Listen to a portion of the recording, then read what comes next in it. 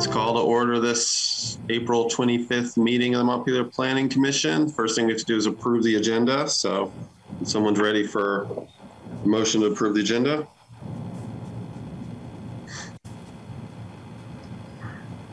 So moved. Okay, we have a, a motion from Jeff. Do we have a second? Second. Second from Gabe. Okay, those in favor of approving the agenda, say aye. Aye. Aye. Any opposed? Okay, agenda approved.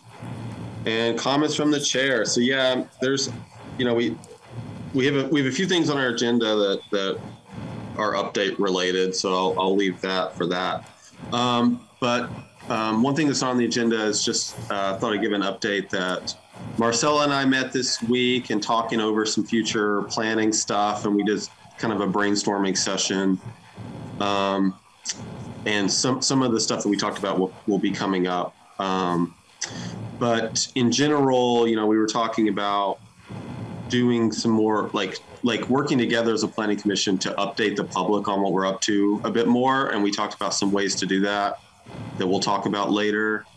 Um, and then gearing up towards our next hearings, um, doing some outreach uh, where uh, folks are know know what we're thinking like well ahead of time. Um, so so we'll talk about that later. But uh, but yeah, Marcel and I met, uh, brainstormed some things. Um, I think it went really well. Um, I don't really have any other comments. Does anybody else have any updates or questions or remarks for things that aren't on the agenda? Okay. All good. Well, with that, I think the next thing is for Mike to update us on the uh, city council votes on the river hazard regulations and the bylaws, zoning bylaws. Go ahead, Mike. All right. Um, yeah, so this should be really quick. Most of you probably know the we did pass the zoning um, and the river hazard regulations. They were both approved. The uh, so the zoning, the two two edits to the zoning. One was the removal of the number eight, which was the residential density, removing residential densities in 1500 and Riverfront. So that didn't survive, and they re- removed our recommended changes for the shading portion.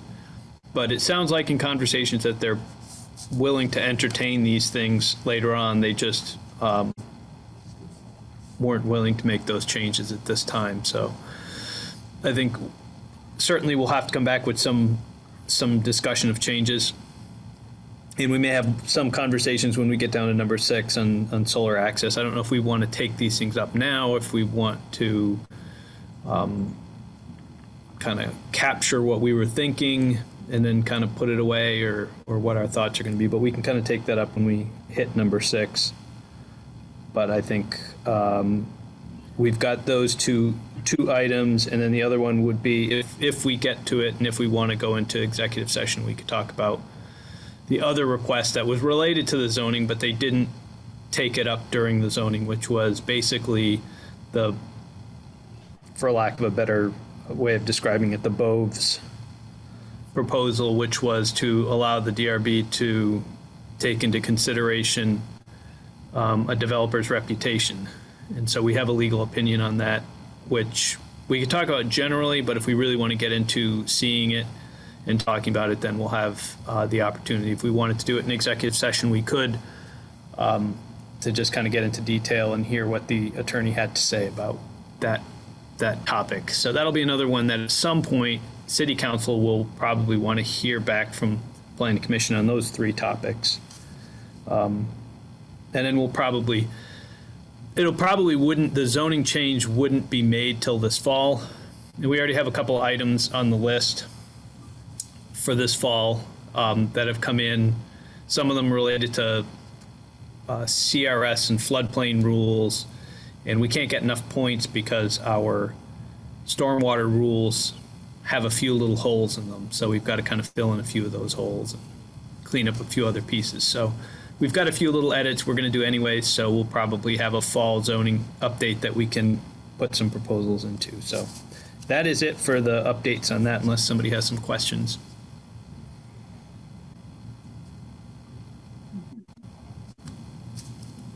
Anybody have questions about any of that? So maybe we're going to talk about this in the solar shading, but um, and I apologize that I didn't listen to the city council meeting afterwards, like Gabe did. That's great. But what was the what was the uh, opposition to the solar shading? What was the tenor of the com or the details of the comments? It was really a very small number of people. Um, one of them was was at the planning commission. Thomas Weiss talked about he, he felt it was against the, the city plan, and there were a number of concerns about that. But then there were just a number of, of folks who were very much, I built my house. I've got uh, passive solar, and this is going to destroy everything. And I mean, they're really, I mean, in my opinion, a little over the top with their some of their um, concerns. But um, in general, it, it didn't entirely surprise me. I know the the council is very um, energy conscious, and so I think they were kind of took a much more cautious approach to changing the zoning to the degree that we had proposed. So Yeah, I'd say that's my my interpretation is that uh, it's some city councilors themselves um, wanted to be more protective of, or they I think they wanted to probably feel like they're they're they're being very careful and being protective of solar. Um, I think that the things we pointed out to them, I think they did resonate, um, but I think they probably wanted more, um, and I think they kind of kicked it down the road and. I think they understood how restrictive the current one is, and that they're that's I didn't interpret things where where the city council's um, determined to stick with the status quo, like how how strict the regulation is now. Um, they just I think they want us to come back with something that's very detailed with like a lot of support. Um, you know, that's that's my understanding. Um, yeah, so I think it was just like like Mike said, they're they're very energy oriented um, in their thinking. So John's done a bunch of extra research. I mean, I thought we came with some pretty strong points about how the trees and the terrain are the big shading problem by far, like overwhelmingly. But um, I, I I don't know. I, I guess in hindsight, we may have been successful if we came with language for that that wasn't exactly like what we first said, but but like tightened it up a whole lot. Like if we came with that language, I have a feeling it probably would have gone better. But so now we'll just when we go back next time, we'll know what they want better. Um, yeah. Does anybody else have any more questions about that stuff? You know, just just a comment. I saw it, will, it may come up a little bit later, but I know you, you sort of drafted a memo about you know our desire to have lots of public input. I think that's really great. I I wonder, you know, if um, so Mike writes a letter right with the proposals, but some of these things that are you know more controversial, if we ought to have an opinion that we've written that explains so people could read that ahead of time you know, because the, the reality on the solar issue is you, you really can't do infill. You know, it's a it's fairly new in the zoning, um, but you know, as we saw from John's data, like if we just explain, you know, the issue, then then people can have an opportunity prior to the meeting to understand our perspective, as opposed to like you trying to defend it in the meeting. You know, um, Yeah. and the same thing on density. Like maybe we could just put our opinion out somewhere publicly and explain the why.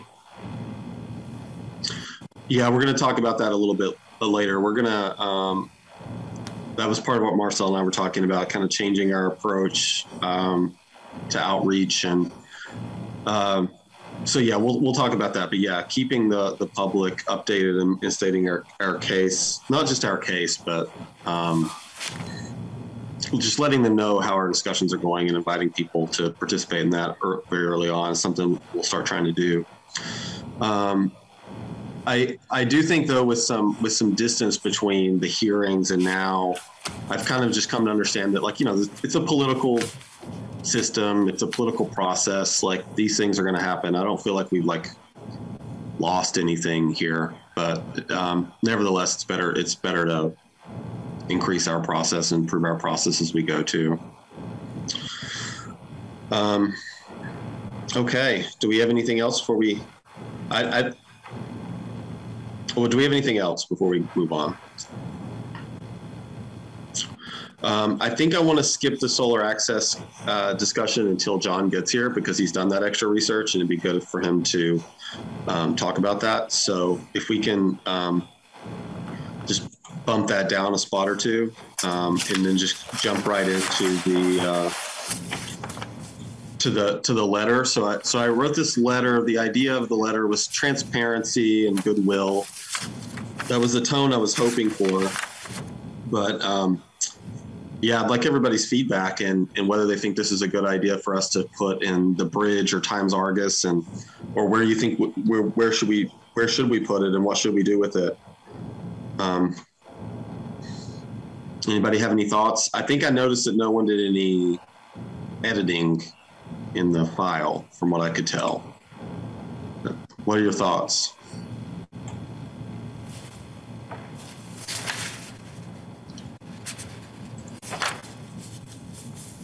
Um, I don't know what the timeline is on on getting it out. I thought it was um, great. I might want to suggest some edits. I guess my only thought was like,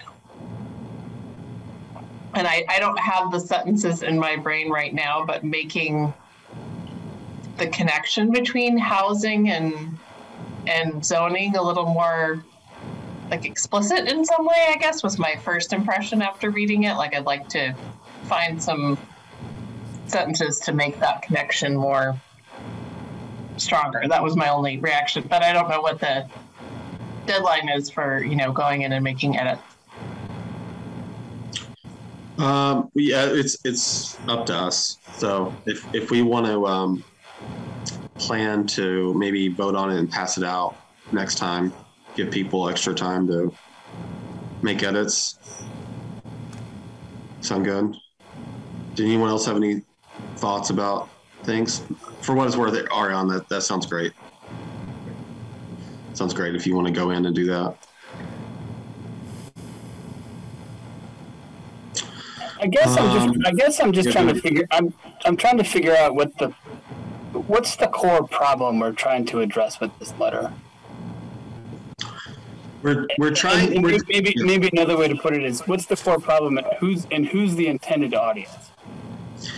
That's that's a great question. Um, for me, the intended audience is people who were not going to who are not going to come to meetings, who are not going to come to city council. They have other things to do, um, but they but they might see something in the paper and and, and want to know more.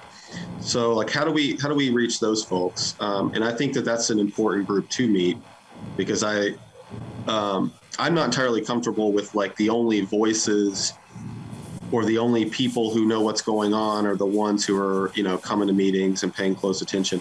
I, I'd, I'd like to I'd like to have a broader reach to let people know what we're up to and um, also not have us like hide away uh, and only show up every once in a while at a city council meeting. Um, does that answer your question? Uh, kind of. I mean, I still don't understand. Like, what's the what's the problem with it?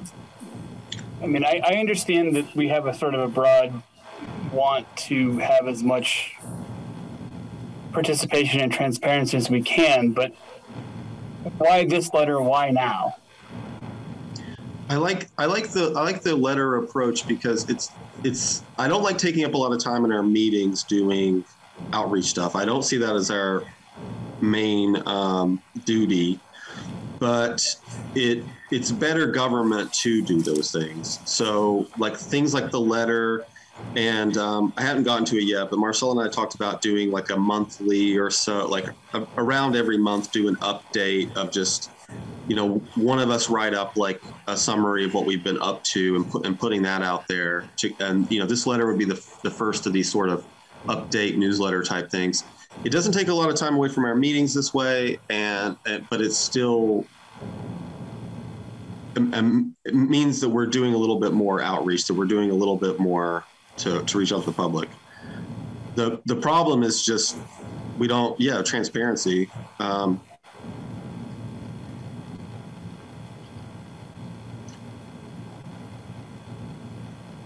do you have any more thoughts about it, Aaron? No, I mean, I just, I guess I, I'm just a little. I'm not quite sure what exactly the driver of this letter. is. Just because I understand what you're saying, sort of in a broad context. My thought is, is you know, these are public meetings. They're recorded. I have no idea who watches them or when. Um, and I again, I just I'm trying to I'm trying to suss out like why why do this now? Like what? Part of it, part of it, yeah, part of it is. Uh, I'm sorry. I'm sorry. What? No, I'm just it, it, this just feels like there is some sort of an intended audience, and I'm just not aware of what it is. Like there's some trigger for this letter. Like what is it? That's what I'm trying to figure out. And Yeah, well, well, part of it is that uh, being aware of the fact that um, this the city plan is coming up. The, we're going to have more zoning changes coming up. We'll be responding to the Congress for New Urbanism coming up. We're, a, I feel like we're we're on the kind of precipice of do like doing things that, that, that that's going to impact the public uh, more, and that it's a good time for us to kind of up the um, outreach that we're doing. Um, so I, I think it's just all the things coming up is probably is, is a big part of the trigger of like just knowing that the public's going to start, or or at least the city council is going to start hearing from us quite a bit in the next half a year. Um, so to to kind of get out ahead of that with the outreach and transparency. so so to me that that's a much more concise and sort of more well structured approach to the letter. I think what you just said makes a lot of sense. I to just if we if what we want to do is to sort of give notice to the public that we are engaged in a variety of substantial you know projects then let's just have the letter say that. I mean just say this is you know dear public here's what we're up to. We're engaged in a you know we're in the front end of a couple of things. We're in the middle of a couple of things and we're nearing the finish line on a couple big things. Just want to let you know we want to apprise you of what's going on and we'd like to hear you know we'd like you to be engaged if you're curious. That's the i think that's the letter. The i think the the thing that sort of makes it confusing for me is is that there is a lot of discussion of sort of broader problems and there's this sort of recognizing you know sort of the housing issue and and whatnot and it it it's sort of just I'm trying to figure out what it is. But what you just explained to me makes a ton of sense, and I think that is a very good idea. So there may be a way to to maybe pare this down a little bit, or to make a, have it be a little more focused. And I think that that would do exactly what you're saying. It, it, what you just said to me makes sense. Um, but we can work on. it. But that that's really Yeah, helpful. that sounds. Yeah, I, I think we can we can make definitely make changes to make that uh, what I said before, make it clear that you know that's part of the the catalyst for this. Um, I I like the theme the theme of housing though because it's such a big thing that's touching everything right now. I, I think this some like if we're going to keep doing this, that these letters will have different themes. I mean, there's been I've heard that, and I, I'm, I'm saying this right now, guys. By the way, to, to get your to get what you think of, uh, to get feedback about it. Um, like having like down the road having one of these that also has a theme of like explaining the density stuff, because a big part of why we ventured into why, why we included uh, density in the last uh, proposals was to make people understand that better. And we kind of started that conversation, but we have we haven't done thorough outreach about it. So I was thinking like like one of these could be about um, density coming up. Probably have one about solar shading, and but put this stuff out here mo- a month or two before uh, it you know hits the public as something we're proposing. Um, what are your thoughts about So, what are your thoughts about having some themes with these things? I think if I was, I'm a- oh, I'm sorry. sorry. Go, go ahead, Marcella. Well, I don't. I like. I I'm a fan of themes, um, and I'm feeling like what Aaron said makes a lot of sense as well, and like could pretty easily kind of be the lead part of the letter, and then you know, so if people only read the first part of the letter, it was like, okay, we're we're moving into a period of different types of uh, community outreach around the plan and around zoning, and you know, tick off a few things, and then another paragraph or two about the topic du jour. Go ahead, Mike. Yeah, I was just going to follow up on Aaron's comment because I thought it was, um, I thought they were good because I think, in some ways, I think it's what's what's missing. I think a little bit in the letter is maybe the um, the specificity or the timing of things. So um, I think if we opened with a gen- more the general letter like you're putting together, and then said, you know. So we're going to be having more public input this year. And these are the topics that we're going to be um, coming up on. So, and, and these are the places we're going to advertise and we're going to do outreach. So if you're interested in keeping up on these, this is this is when they're going to be up because we really aren't. I, I hate to have uh, some of the open-ended. You know, it's kind of like the want to hear a comment on what you do about the housing shortage. And I think my, you know, people have different opinions in planning and beyond about what's the best way of doing it. And I always, I'm always of the opinion that you put together a proposal or a list of ideas and then you get get responses as opposed to giving people a blank sheet of paper. Um, so I, I think if we were going to put something in there, say, hey, let's have ideas on housing housing shortage, then we would say our June 12th meeting is going to be a conversation about um, strategies, um, and here's here's the current, you know, implementation strategies that we've drafted. Um, if if that's you know that way, there's a very specific, or to go through and say, hey, we're going to be doing more outreach.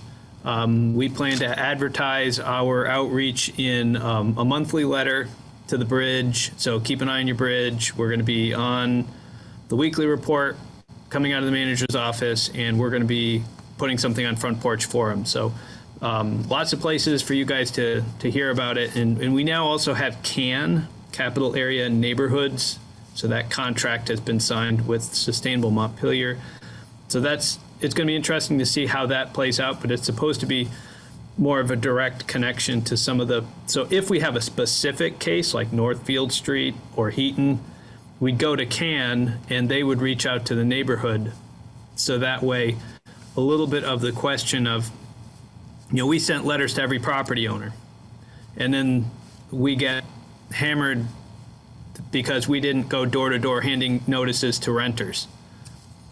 And it's like, well, you know, there's there's a line and point at which we can we can go to, but the advantage of CAN is the city's already paying Sustainable Montpelier to do this. So as long as somebody signs up for CAN, signs up for the weekly reports, reads the bridge articles, you know, there, there are plenty of ways to stay in touch about what's going on. And then and then we want to hear from you and, you know, here's the date for you to participate. Um, so that way, I, I think if we were able to tighten up, so take what you've done and then either tighten it up or simply say, these are the places to keep an eye out for the next things.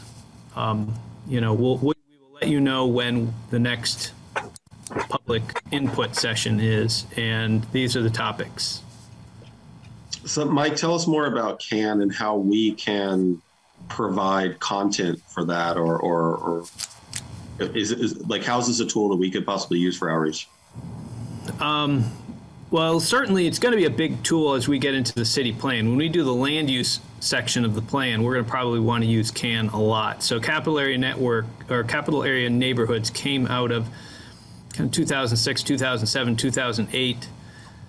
Um, my predecessor did a lot of um, stuff. They had, I don't know, maybe even four vistas or something. They had a ton of, of volunteer help and they organized and ran the capital area networks to build the last plan. Um, so that is really they have they'll divide the city into 16 17 neighborhoods or something like that and then they'll have um, a, a coordinator for each one of those. So you guys have met peter kelman. Peter is the one for mountain view drive up by national life and kind of up that direction.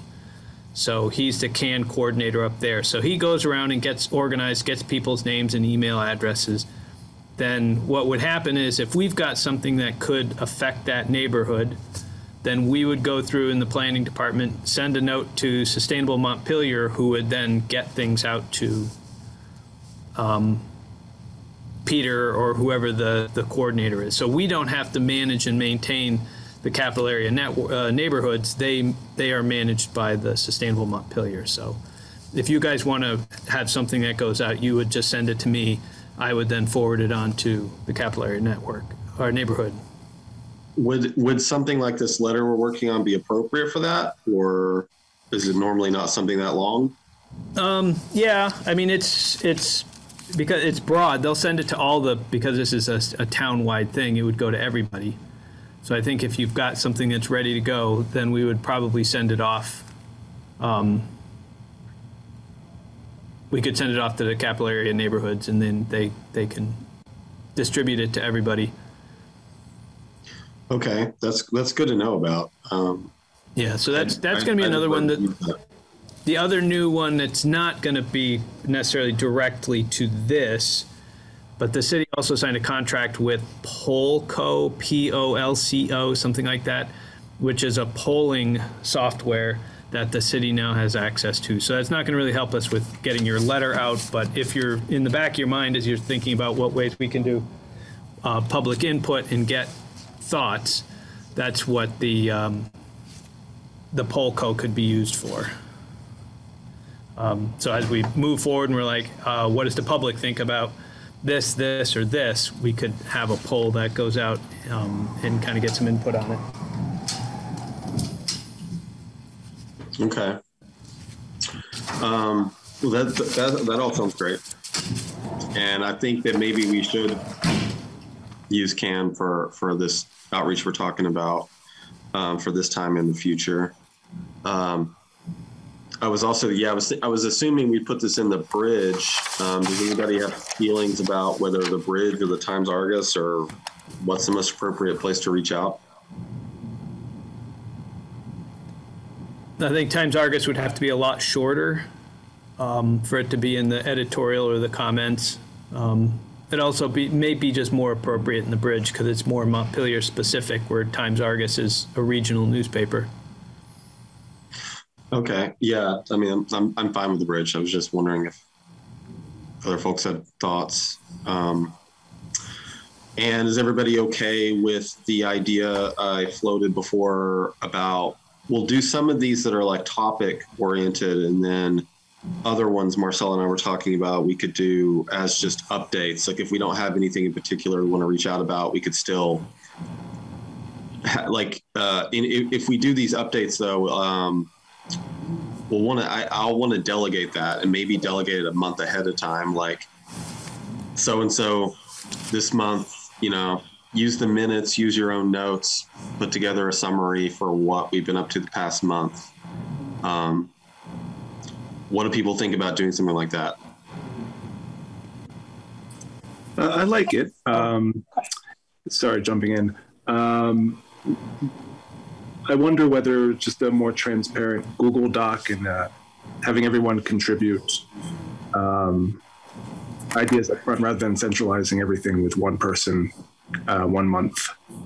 Or is that what you're saying? Just uh, I was I was just thinking about what uh, the process I was thinking was we we delegate it to someone and let them know ahead of time so that they're not having to research after the fact, and then and we'll so that way we can share the workload. Um, uh, so like nobody's doing it more than like once a year, um, and then uh, we would we would all approve it though before it goes out.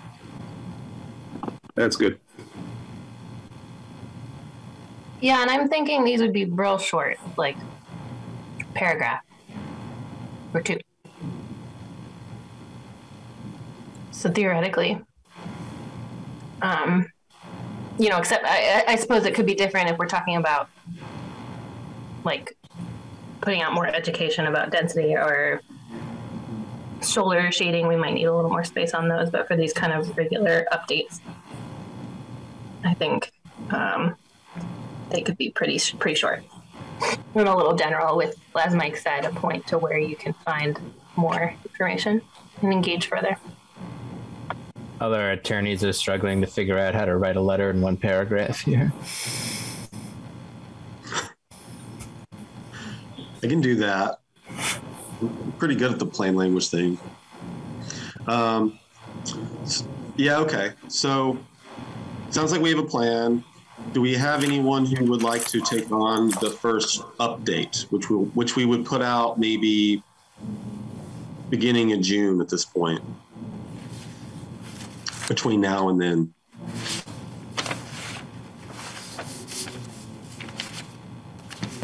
I feel like it should be me, and I just wanted to let you know that I really can't for this first one because of CVRPC stuff is just with nominating committee. I just have too much going on, so I'm happy to t- you know do it at a different time. Um, but I just if we're gonna do it now-ish, I just can't. Um, that's fine. Like I was, I was again, I was, I'm just saying, like let like we assign it now. Someone knows that. So, so I don't. sometime in June. I don't want to be the naysayer, but you know, you think about like what's the purpose, right? If the purpose is that we we want more input, we want to be more transparent. Um, we, we already have minutes, and you could expand on the minutes a little bit, but to make it really relevant for people to really understand, they really they're going to need to watch the meeting or participate in the meeting, or else it would be a multi-page document. So I'm feeling like we'd be better off to put things out ahead of time, like Mike was saying. Like maybe we put out a general note at the beginning saying, hey, you know, like Aaron said, here's all the things we have coming up. And then when there's a weighty matter, like we have two issues we know people are very concerned about, right? We have solar we have density. So as we get to having those meetings, and I agree with Mike, we, you know, like you don't want a blank sheet of paper. Let's make sure we have some proposals and then we have a public hearing right? And we can put something out publicly ahead of time on that issue, right? That's a little bit deeper um, and prepares people to come and, and comment. As opposed to like writing something that's a little bit longer than the minutes, but still isn't much more useful. Yeah, I hear you. I hear you. Um, just the the the balance we're going for with this is like something that's not going to take a lot of time from us. It's not going to distract a lot, but something that's going to actually, you know, be more than just the bare minimum of outreach. You know, the bare minimum I think is we have minutes. You know, like so do do a little better than that. But you know, What if we said like quarterly or something instead of monthly? That way, and then you know, then it would coincide with like biannual zoning updates and a couple other things. And the uh, stuff on the ground could be on Front Porch Forum, um, either proactively or responding to people with whatever arguments or bad faith stuff they may have on tap.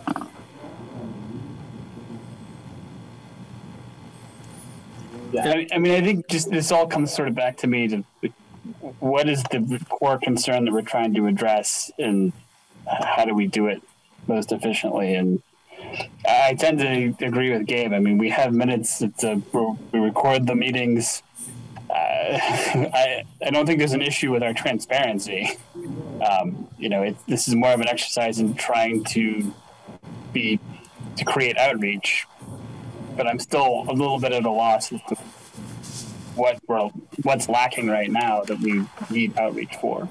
But to to be to be clear, uh, Aaron and Gabe, um, you guys not fans of the update thing, but you but you're fine with the topical outreach stuff. Is that correct?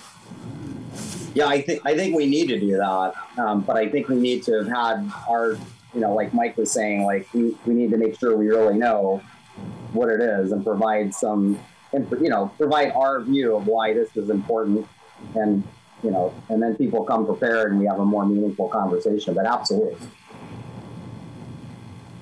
I mean, maybe we start with that and see how it goes, and if it feels like it's creating some more generative engagement or if it's not enough. I mean, I hear what you're saying about the minutes and the videos, but like pretty self-selecting is if you know who's gonna feel like that's accessible and you know that coming to a meeting is feels good. I don't know. It just it isn't i feel like more is good. But i mean with capacity and stuff i we what if as i'm hearing i was of you know originally of the opinion we should do it more often but hearing the discussion like maybe we just start with the topical stuff and that makes Kirby's focus on housing a little bit more relevant um, for that first letter, and then we do another one in the fall for the zoning stuff. Or leading up, we do two, one on each topic leading up to that. I think I think it would need. I think it needs to. They're both. Yeah, I think so too. They're both pretty dense topics. Yeah. No pun intended. And I think we're going to have a lot of, of public input over the next year. And I think it's the, the a letter similar to what you're talking about. It's going to be important. You know, this city plan. I don't expect us to just develop this city plan and then roll it out into public hearing. This is going to be one that, as we're, you know, we'll get to it later on with the with the consultant. You know, this is going to be a process of developing these where we're going to be putting these chapters together, getting them online and immediately trying to get people to start giving us public input and comment on them. So I think I think this is going to be a process throughout this year where this is they aren't going to be true public hearings, but I think we're going to be dedicating time and meetings, you know, maybe special meetings, um, you know, and maybe um, in other times we've done, you know, a booth at the at the farmers market and stuff like that to try to make sure we open up as many opportunities to get people to start knowing this is going on. We're doing the city plan update. Here's the draft. Here's where you can find it online. Please review it. Please get us comments. Um, you know, here are all the places and ways you can give us comments. And I think there's going to be a, a I think input is going to be a big part of the next 12 months um, because of the city plan. It's just by its nature. But we do have zoning updates as well that we have to fit in there as well. And I think some of the theme conversations that you're having, you know, we do know we're going to have this conversation on shading. Let's have a public input meeting before we make a draft for public hearing. You know, instead, generally we've been putting everything together, going to public hearing and getting our public comment. And maybe this time we'll take a step back we'll say we want to have more, we want to re- redress this um, density issue. Let's have some public input before that. Um, how much can we get? Can we get some, you know, dedicated public uh, meeting before we actually put pen to paper to, to draft up the, the thing? So I, I think the, I think we've kind of got two two different buckets, but the goal of trying to maximize and, and increase our our input, I think, hopefully is should be a, a big part of this year anyways. Um, and we can start to direct people. When we're ready i don't want to start directing people to start giving us public input if it's just going to take time away from us actually getting the stuff ready for them to review. I'd rather be in a position where you know our housing chapter and our transportation chapter are ready to go they're on the website let's start getting some input now we can go and work on the energy and historic resources while we're getting input on those then the next month or two months later, we've got two more chapters up on the website. And then we've got two more that are coming up. And, and hopefully by the end of the year, we have 11 chapters up on the website and we're just getting public input on what people think of the city plan, what's good, what's bad, what they like, what they don't like. That sounds that sounds good, Mike. I mean, the, the only caveat I would add to that, though, is that I think we do need to reach people other than just that subset who wants to come and talk at a hearing. Like most people are not in that subset. So I do feel I'll feel better if we're informing and, and reaching out to people who aren't just in that subset. Um, but it, but it sounds like we you know we're going to do that with this the topical outreach. Um, but yeah, yeah, I like I like having a, a diverse approach and not not just doing hearing stuff.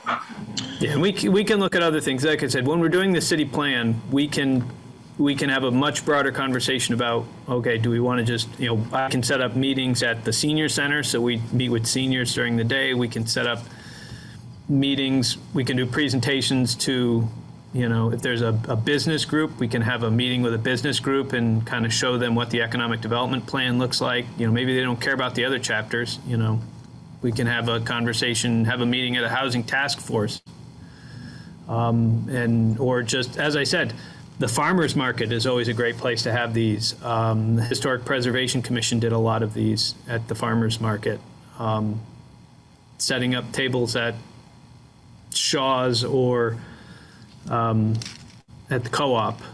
You know, yeah, somebody's got to sit out there and you know kind of talk to people or have a couple of people there to talk to people. But that's what we're trying to do to to kind of get a handful of people to start to, to talk to you about it.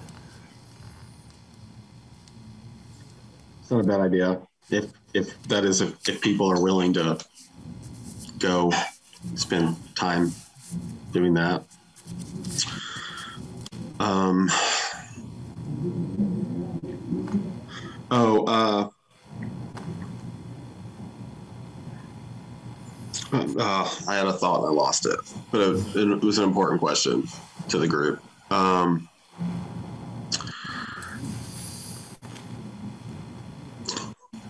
maybe I'll come up with it later. It's too bad. Uh, it was about it was about the letter. Um, oh, uh, do we want to involve other other committees?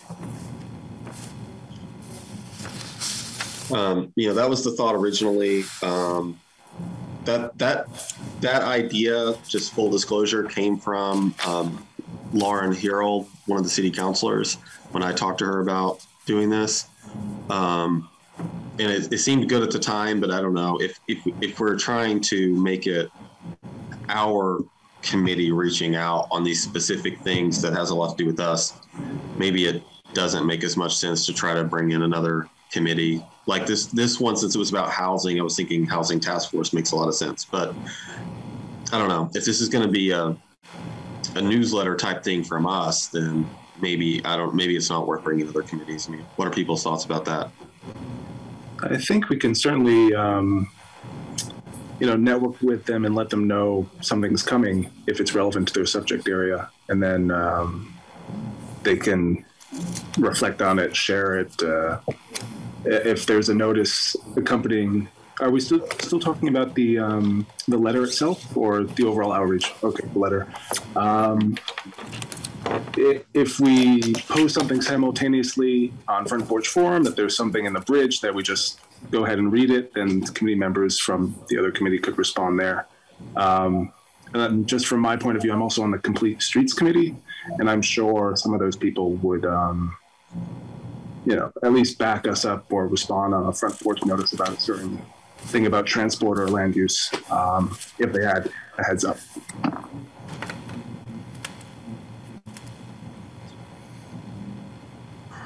Okay um yeah that that raises some other questions do, do we want to put this stuff on front porch forum I'm not good at keeping up with Front Porch Forum, but I know people are. There's just so much. So much. Does the city have an account Um, that we would post it from, or is it like individuals? I I don't have access, but I know our zoning administrator signed up. Um, you have to be a resident, so sometimes it can be tricky to get in if you're not a resident, and I'm not. Yeah. So- right. Yeah. I know that. I just thought that they were because we've talked about this for work. I just thought it was kind of like if you were doing quote businessy type stuff, you needed to have like a you kind of needed to have a business account rather than. Uh, but I suppose, given that this is volunteer, we're volunteers, we might be able to just post by ourselves, which I think I've seen before. I mean, we could create a special account, which I think actually might make some make might make sense because if someone uses their personal account, then they'll feel like their personal account's now attached to this, and I don't know. I don't want anyone to, any individuals to feel like their free speech is, you know, mixing with th- this stuff. Yeah, good point. I don't know what the cost is for things like that.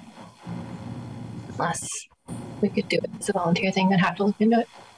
Well, if anybody feels compelled to do front porch forums, if Jeff brought it up. Like you guys, if you guys want to look into it and see how we can do that, then we can maybe have that discussion later. But for now, plan on the bridge and can. Um, and then, if, if that sounds okay. Uh, so about about other uh, committees, do we have any other thoughts about? I mean, whether we should, for this particular one, reach out to Housing Task Force to have them be a co-author, or just us be the sole author and, and share it with them and do it that way.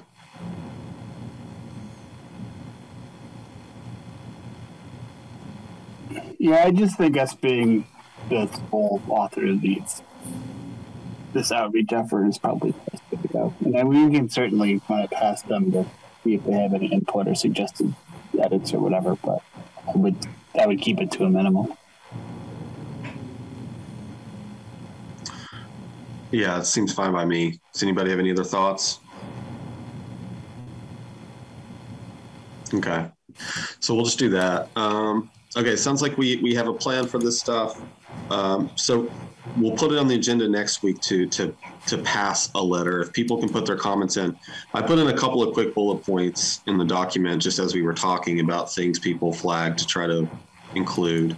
It sounds like the intro language is what people want to um, want to work on to make the intro clear about why we're doing it. Um, I think I'll just plan to leave that to others, and we'll revisit it at the next meeting.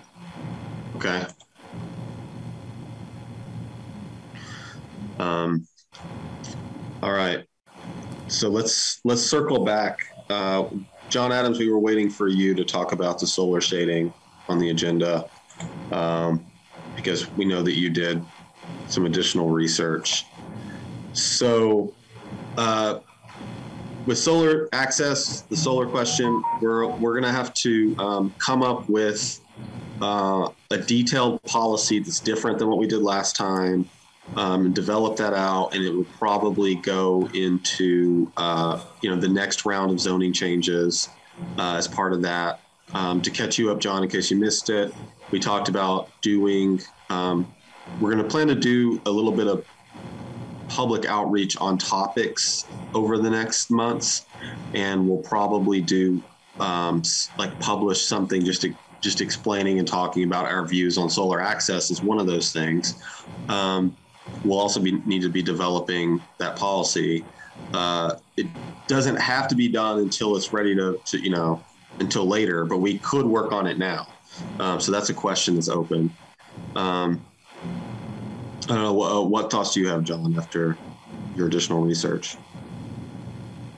Yeah, so I guess um, just stepping back, I guess I'll say I was surprised at how restrictive the the regulation was. I did not think it would it was that um, it would have such a, a significant impact, and by that I mean doing the analysis of you know what we currently have that would um, at least uh, require the the um, that wouldn't pass that uh, calculation. You know, I know you could. There's an opportunity to do some kind of analysis that would uh, you could maybe demonstrate somehow that it, it didn't do that. I obviously did not do that for every property in Montpelier, but just the the fact that um, the you know such a huge, uh, significant percentage of our um, properties would have to go through that and um, potentially not meet that requirement was was um, it was surprising to me and uh, forget exactly what those numbers came out to be but it was in terms of housing units probably um, close to half or less than half definitely half of our of the city's grand list almost all of our are his you know historic buildings that are not um, old old um, on the outskirts of town. It's almost like everything that was was built before before zoning, um, where we've which makes sense, which you know where we would have had these these large um, setback requirements and these and these like 60s and 70s style zoning. So um, yeah, just wanted to to start by saying that, and I, I sent those slides. I think which show you the building footprints um, of those properties. So um, that was surprising, and then I did a more elaborate. I took some areas and did a more elaborate um, solar insolation analysis. Um, more, if anything, maybe more for my curiosity, which found um, basically I used um, digital elevation model and removed all the um, structures from from one model and kept them in another, and then just looked at. Uh, I did an, analysis on for that December twenty first date, which I, I think is I don't think is a good date to use because it's when there's the least amount of solar access. But um, so anyhow, and, and it, what was interesting is you know citywide, rather somewhat insignificant because uh, generally speaking, the amount of building footprints across the city compared to the rest of the land area isn't that isn't that large. But I think what was more interesting is um, when you do compare um, areas or, or when you run the analysis with and without buildings, with buildings, you end up, um, or, or without the buildings, you know, you have more of this partial shade, which makes sense. You know, you have trees, um, lose their leaves, you get uh, a mix of some partially shaded areas. And then with some buildings, you have more areas that are maybe fully shaded, but you have more areas that receive a much higher level of full sun. And and that's where um, that's where all uh, ninety percent of the solar panels are um, in Montpelier. So all that to say, you know, if we're if this is really about solar access and and generating power using solar energy, we need we need roofs to put those on because that's where they that's where they go and that's what generates the highest amount of um, of uh, solar access. So, um, all that to say, I don't I don't think that I think the regulation we have currently is deceptively written and um, calling it solar access is is doing everyone a, maybe a, dis, a disservice. You know, there's certainly a case to be made for um, uh, people have um, you know not having your entire uh, property being shaded by an enormous building that's built next to you you know a lot of that's why zoning came to be you know and with with in new york city uh, you know over 100 years ago um, but we, i think we have other regulations in place that would prevent um, massive skyscrapers from shadowing our um, our properties, along with you know building footprint massing, other setback requirements. We have a lot of these other things, and that me has more to do with you know site plan design and and um, and livability rather than just explicitly solar um, solar shading. So, um, sorry if that was a a ramble there, but um, that was more or less my my takeaway from looking at all of that. Um, you know, I think we could replace it with, you know, of course, buildings should not shade existing new buildings should not shade existing solar panels. Um, you know, that makes makes a lot of sense. But um, I think as currently written, um, it seems like this this regulation does could could do a surprising amount of harm in preventing um, especially any kind of multifamily or uh, rental housing, which in the analysis of buildings was almost all of those buildings, you know, would would would not meet that equation. So I think I think when we revisit this and we do outreach, I think we'll need to explain all of that. I think also um, we uh, and people tell me what they think about the the persuasive value of this, but um, I think putting it putting it in the context of how this was passed in the first place. Um, when I talked to the city council, I mentioned that I I was on the planning commission. I'm pretty sure when we did this because I, I, was on there at the end of the zoning bylaws, like the, for the for the second half or so of the zoning bylaws being passed, and uh, like I had no idea that that this was this would be effect be effective in this way. It sounds like John, you didn't have any idea that it would, um, you know, effectively work this way. Um, Mike had mentioned before that this came from the consultants, I think, um, and it was just some stock language taken from somewhere, which apparently that place was a like. So we dropped in maybe the strictest version of this kind of thing possible, maybe. Um, so I don't I don't know if that context helps people. I, I it helps. I think it helps because it helps people realize, like, this is partially so bad because we didn't realize, and, and maybe there's a better way to put it or a better way to phrase it. But starting from the point of like, no, like we didn't, we just we didn't know that it was going to, to work like this in the first place, and that's part of the reason why it needs to be fixed. I, I don't know. What do you guys I, I mean, I usually start from um, the perspective of, you know, in terms of what we're legally enabled to do, and that's enable, you know, um, if we're taking away people's um, property rights, we need to have a very good a good reason, right? We need to have some kind of evidence to suggest you know, why why someone can't do that build there. And there's you know plenty of various good reasons why um, we don't allow just anyone to do anything, be it environmental you know degradation or building in the floodplain, etc.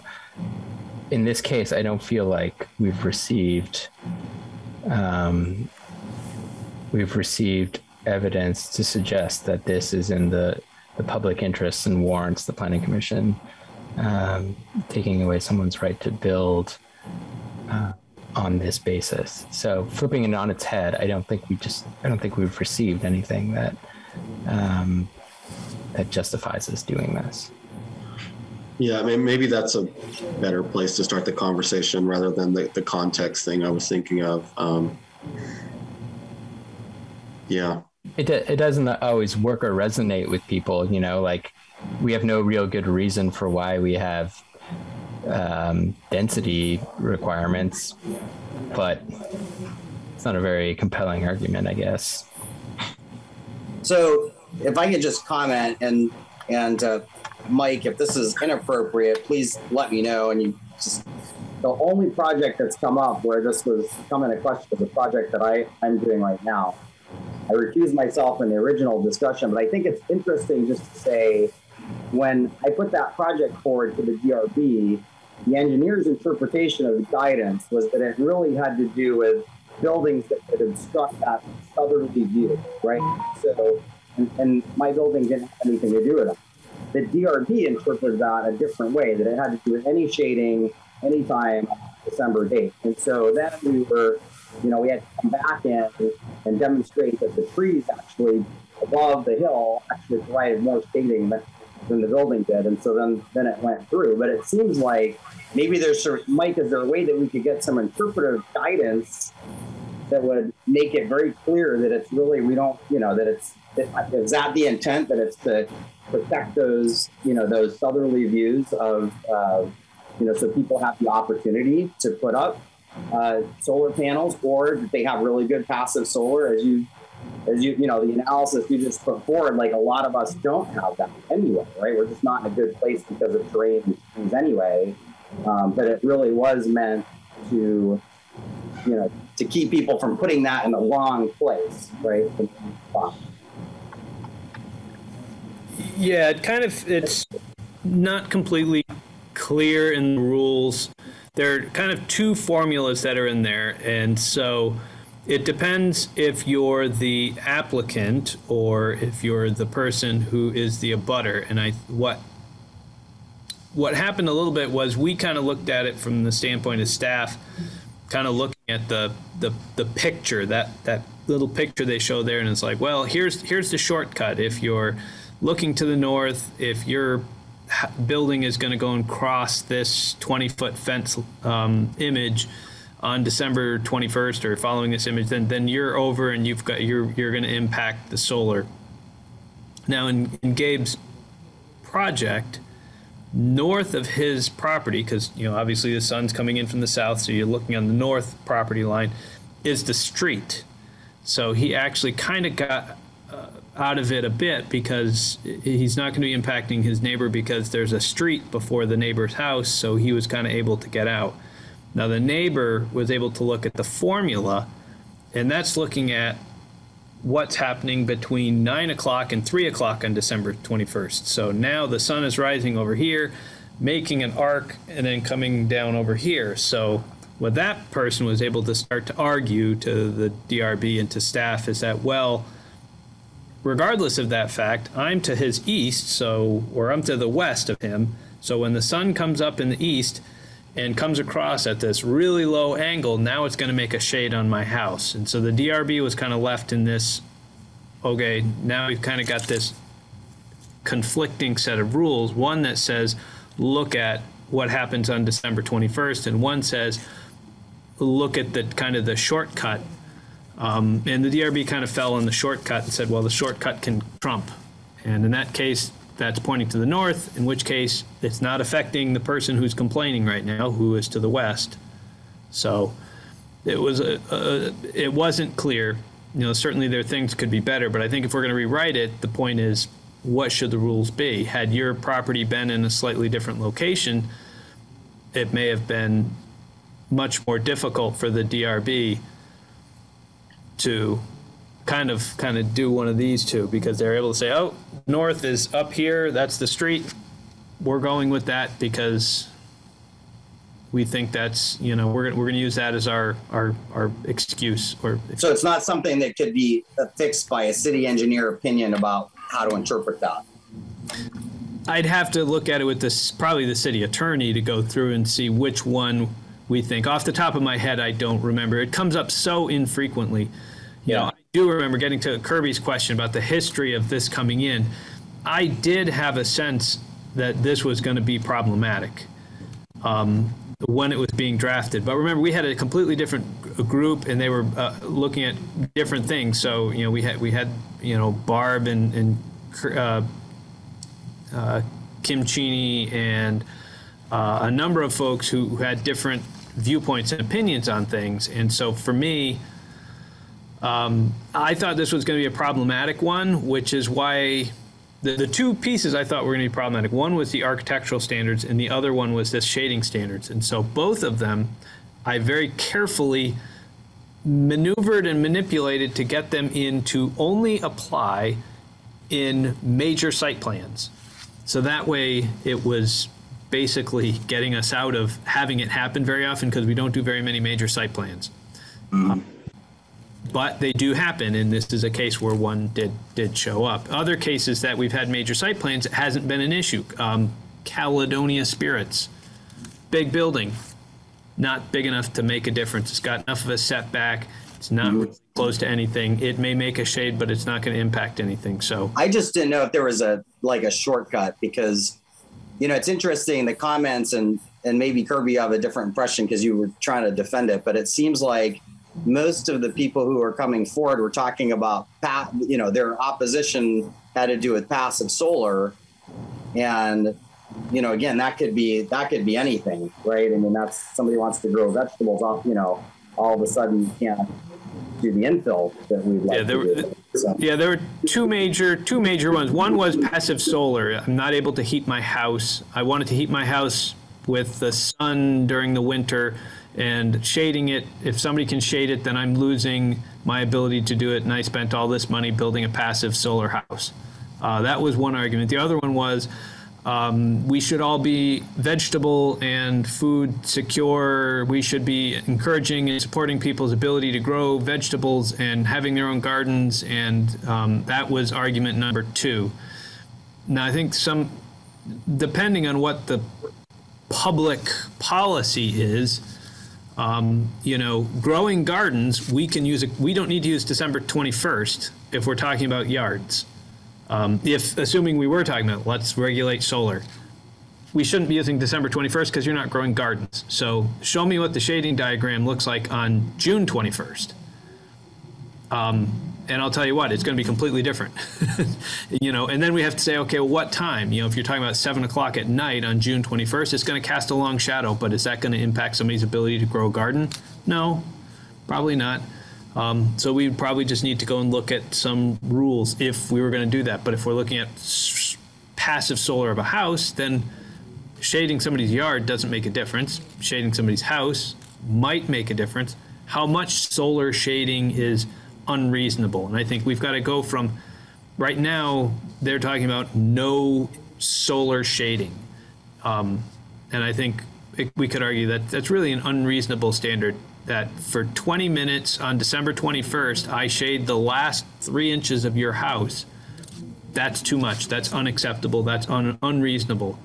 And I think we can say that rule sounds unreasonable. We have to find a balance that says, okay, what would be a reasonable rule? If we're going to protect passive solar, what is reasonable? Um, and maybe it's a March 21st standard, or maybe it's, uh, you know, I don't know. And as a, well, let's let's yeah, looking let's at looking at that. John's maps, looking at John's maps, it may be something that's completely based on where you are to go through and say it's just not reasonable to think that you're going to be in a residential 6000 or residential 3000 or residential 1500 and not have any solar impacts from your neighbor because chances are good you're impacting your neighbor right now. So to have a rule that says others can't shade you but you can shade others isn't really equitable or fair. So it may just be that in these zoning districts we're not going to regulate it because guess what? For every one of you that's complaining your house is probably shading your neighbors. So Well, not to mention, nine, like 97% of shading in the city is from trees. You know, and we're not we're not saying like, all right, we're not advocating to cut down trees here. Um, and there's no like height restrictions or setbacks requirements on trees. So it just feels disingenuous to say that this is really about solar shading. And the but the the other thing I I think that we should keep in mind is because of this is a major site plan requirement, this really has like a disparate impact on low income households, and we're only subjecting or preventing the development of um, rental um, and multifamily housing. This doesn't apply to single family homes. Like, uh, it, you know, and, and just I don't know if you looked carefully at the, the building footprint. I should have added more context, but the homes on College Street do not meet this requirement. Like this isn't like we're not talking about you know these ten story monolithic buildings shading here. We're talking we're talking about some basically what homes in Montpelier look like cannot meet this requirement. I think I think we we you know our we know our policy reasoning. Hopefully, John, you're keeping track. I know I'm not in one place keeping track of all these arguments that we're going over, but um, I think we need to do that. I think it sounds like we should strike while the iron's hot. This is all in our minds. We all know what we're doing. So um, maybe we should go ahead and put together a new proposal, and then we'll have to shelf it for the next time we go to city council. Um, like we unless unless people feel strongly that we're that we insist on sending it back right away. At any rate, at any rate, I think it might be a good idea for us to go ahead and have a have a new proposal, have all the policy reasoning there. Maybe go ahead and even draft the outreach we plan to do um, based on all this reasoning.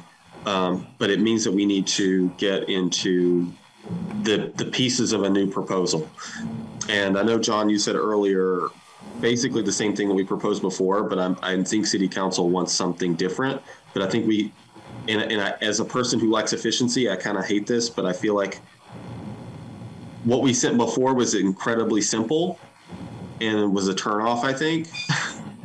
so if we adjust, which which I don't like that reaction as um, I think simple is better with the law for lots of reasons, but um, maybe we send back something that's an adjustment that's that that has more pieces to it and um, I can go through the things that Mike had pointed out earlier and that's been said in this conversation. And maybe next time we can plan to vote on a version of this um, th- that that's new. So, so let me go through the different pieces. Uh, remove shading on. Uh, so to, rem- to one thing would be to remove shading on yards and walls from the requirement. Uh, so make it roofs only. Another thing would be to um, al- allow actions to mitigate or minimize the impact of shading instead of precluding development altogether. Um, another thing would be to exempt the most highly developed neighborhoods from the requirement. This is all this is all stuff from Mike's list, by the way. Uh, the next thing would be to change the date from December 21st. Um, and then uh, the last thing would be to allow DRB to uh, provide a waiver. Um, so, since since we're talking about this now, since the policy reasons are fresh on our minds, do we want to like ask Mike? Because I think that's the appropriate way. And Mike, correct me if you think there's a better way for, um, but to ask Mike for our next meeting to give us language that incorporates some or all of those things that he said. Well, I don't think the idea was that we would incorporate all of those. Those were six options, and I was kind of hoping they would be choosing one of out of that list of six or seven, or coming up with some other ones. Um, you know, if you guys have other ideas or other ways to to skin the cat on this one, that Well, I think some of those things can be mixed and matched. I mean, we can make it roof only and also allow a waiver and also change the date.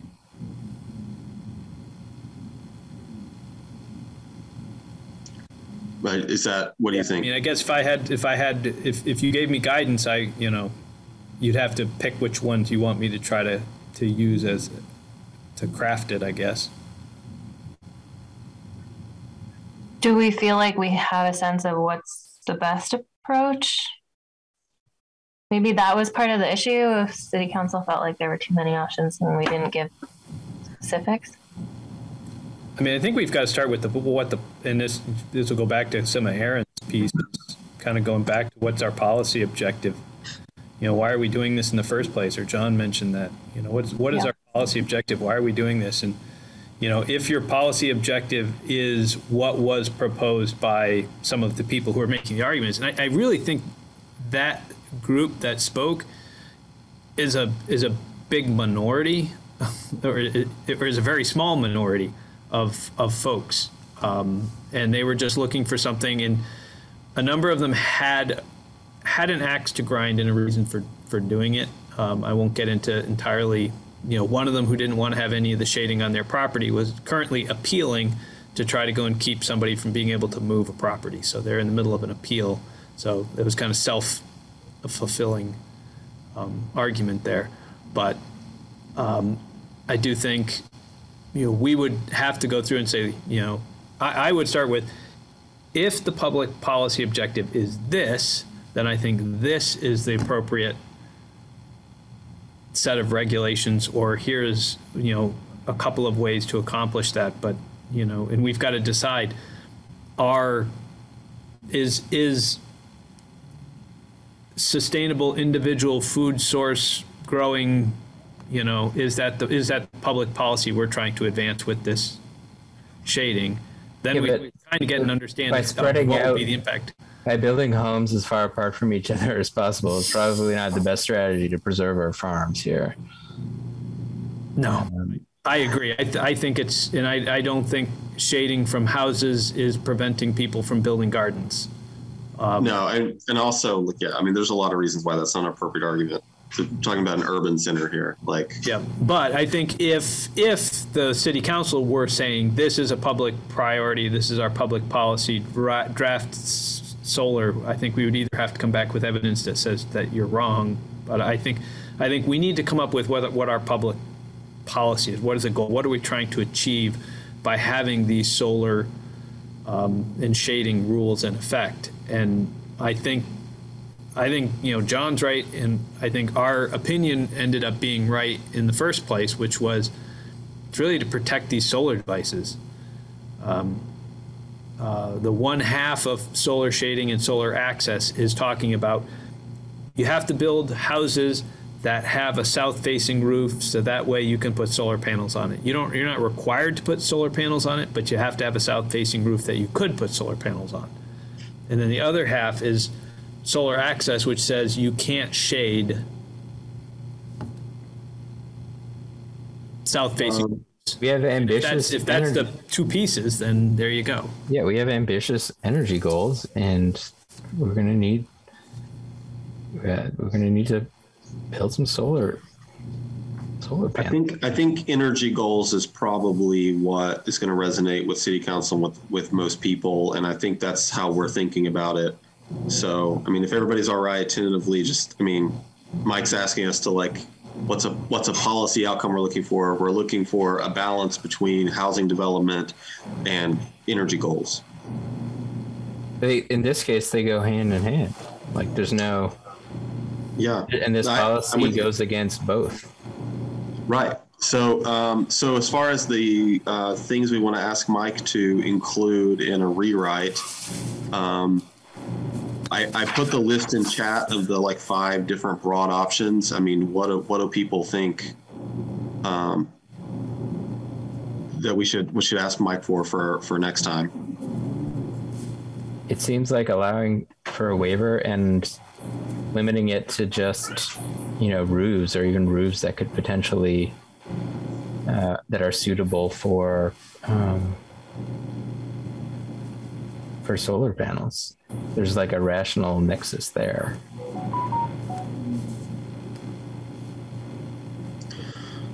Um,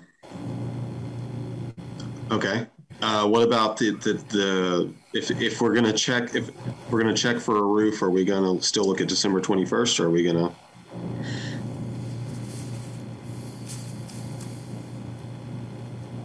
I, I mean, I don't think I'm not even sure how that date would have gotten in there, but it doesn't make sense to me.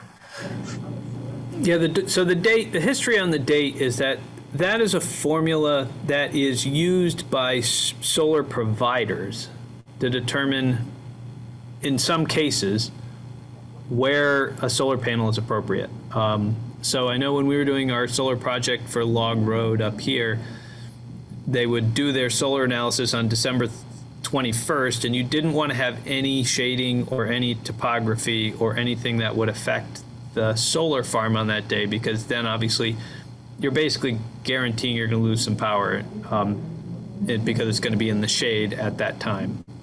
Um, now, of course, if it's only there for a brief period of time on that one day, then, you know, but they kind of use that as their benchmark. Um, it should never be in the shade uh, if you're going to build a solar farm any time of the year due, due to topography or trees. So they'll cut down the trees, but you can't cut down the mountains, so you'll have to move your solar farm somewhere else. Um, so that's where the date comes from. But it doesn't really make any sense when we're talking about a house um, or a building unless you're trying to maximize the protection. If you're trying to maximize solar protection, then yes, you would pick December 21st. Um, but I actually think um, it's more complicated, but I actually think the coming up with reasonable and unreasonable shading um, sometimes, I mean, that- that's why you have something go to the DRB, is you can have, you know, the reasonable persons make a determination. If it's a calculation, it could be an administrative approval. It doesn't have to go to the board. So if we've got something that's, you know, the, the, you can't unduly shade a neighbor's um, house or, you know, whatever, and, and then you could give the DRB some guidance and some guidelines that go through and say, you know, you shall not shade existing and proposed solar devices. Um, and then you know kind of working your way down to some other guidelines. Uh, it's another approach that gives some flexibility. It's it's not a, a black and white yes or no. You can kind of take a look at it and say, you know, you, you should minimize the amount of shading by you know adjusting the location or size of the house or the structure that's being built. So it's not saying you can't build a two and a half story house. It's saying, all right, if you're going to build a two and a half story house, it, will it impact the neighbor?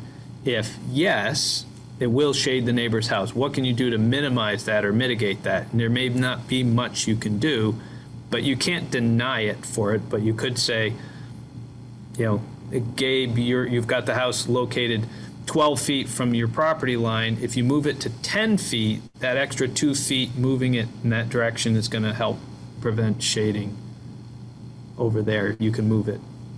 Okay, so what if we what if we change it where it's just roofs? And I think we have a lot of policy reasons for why it should be just roofs. For one thing, um, roofs are where most solar projects go. Um, so if it's about solar projects, you know, there's a lot of policy reasons to, to have it to limit it to that, um, and then uh, and then allow waiver and also allow the DRB to just direct the applicant to, to take some mitigating steps. Um, do we do we want something more or different than that? That, makes sense to me. You know, I, I think most, I don't think there will be too many projects in these neighborhoods that will be shading other roofs, you know, unless we're talking about the, the shed roof that's 10 foot high or something. But we're going from, you know, making almost making a significant percentage of Montpelier's development non-conforming to probably a very small percentage with that. Yeah, and I think that's so. So what goes along with asking Mike to come up with uh, this language for us is also, um, uh, John. Could I ask you to before the next meeting, just you don't have to like write a letter or anything, just bullet point like all of those policy reasons that you've gone over for us. Um, so we'll have those when we go to talk about this later, when we go to do outreach about this later. Um, doesn't have to be anything polished, but just I want to preserve all of the reasons um, behind, like you know, what why we think this is the the way to go. You do that, okay? Um, and then we will, you know, we can have this done for now, and then and then it'll be ready to go later when we propose. Does anybody have any other thoughts about that, or does that plan sound good? for next week, and then we can move along on this issue. Okay. Okay. The thumbs the thumbs up is helpful, Marcella. yeah, I think, uh, and I and I think some we've got some other rules that you know that if we're making a good argument to the council and to the public about why these rules don't make sense, especially the shading rules. We can, you know, one other one we can point out is the fact that we have um, street tree requirements and other landscaping requirements. So you're required to plant trees on the on you know on, the street trees for for projects. So if you happen to have a house that's you know on the north side of the road, you're required to plant trees in front of your house that you know is gonna then shade your ability to go and use that roof for solar panels. Now, it may take a while before those trees get, grow big enough, but you are required to have those street trees. So there are a number of places where these rules are going to start to, you know, automatically build in landscaping that's going to affect your ability to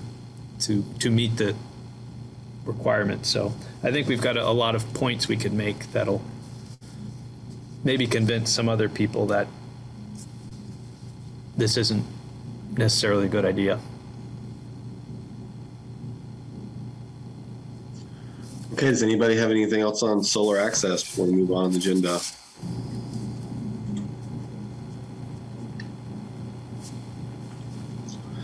Okay, so the next thing is uh, the idea of having a commissioners 101 workshop. Um, this is um, uh, an idea from Marcella, so I'll just turn it over to her uh, to talk about it.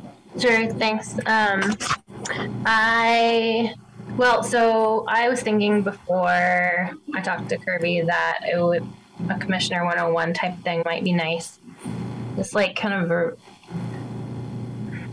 kind of like a, just not a long conversation, but a short conversation about like what it is that we do and what rules exist that we need to operate within and that sort of thing. Um, because I def- I didn't definitely didn't get any kind of that onboarding when I started. But after talking to Kirby, it sounded like and I was thinking with Gabe and Jeff like it would be a good time. Um, but after talking to Kirby, it sounded like he spoke with Gabe and Jeff, and then everyone else has been on the commission for a while. So now I'm thinking perhaps this would not be super relevant to anyone else. Uh, but it, it's on the agenda, so we can talk about it. If anyone else has thoughts, let me know. Um, I don't feel quite as strongly about it anymore, given that it sounds like most folks have had some semblance of onboarding. I would, I would love to have this. I never had it, and I wish that I had. So I just wanted to say that really quickly. Okay, cool. Thanks, Diane. Yeah, I think I think it could be useful, and I feel like it could be good for just like revisit, if even if you've heard it a little bit before. But I also don't want to totally turn off half our group for an hour if if that's what it's going to feel like.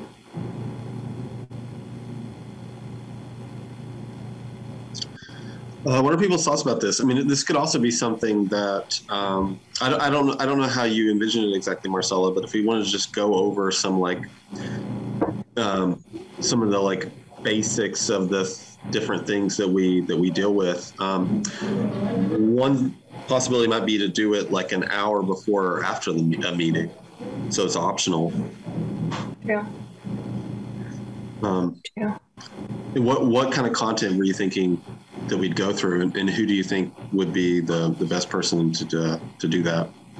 Yeah, I guess I was sort of thinking Mike could probably speak to most of it off the cuff. Um, I don't want to add, Mike, I don't want to add like something unnecessary to your to do list that is already too long, but um, we could also have like, I don't know, there's some other expert that come in and, or the city manager or something, just talking about, I think like some high level talk about like what the planning commission's like theoretical space in government is um, and then if we have any like guiding documents that regulate us other than like the plan um, and then just like it, maybe we could talk as a group about like best practices and kind of make that more of a conversation. Is this something that the RPC does, or they could do? yeah I, that crossed my mind. I don't know. Maybe could What do you think, Mike?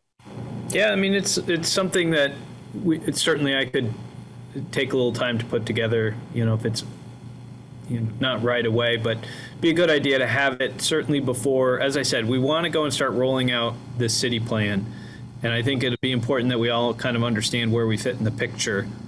Um, you know, I think we've been kind of going along and talking about it in pieces, but we can, you know, if if we spent an hour and just went over you know, from a statutory standpoint, what is the planning commission? What are you guys really intended to do? Um, you know, how, how does how do things differ between what you do and what I do? Um, you know, I work for the city manager. You guys work for city council. So although it kind of looks like we're kind of on, on we're kind of do things with different directors in mind. Um, but you know you've got a charge from the city council to what you're supposed to be trying to do and from from that you know how do you handle yourself for public input and public comment? I think we've talked about that a bit but i think there's there are a lot of little pieces we could go through. I don't know if we i don't know if we have rules of procedure. We might somewhere.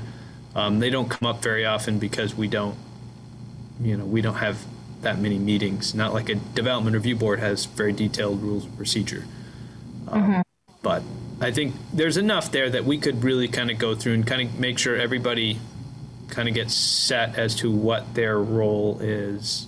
Um, you know, we've taken a lot of public comment from the public. What's our, what's your role to respond to them? We've taken a lot of input from other commissions and commissioners.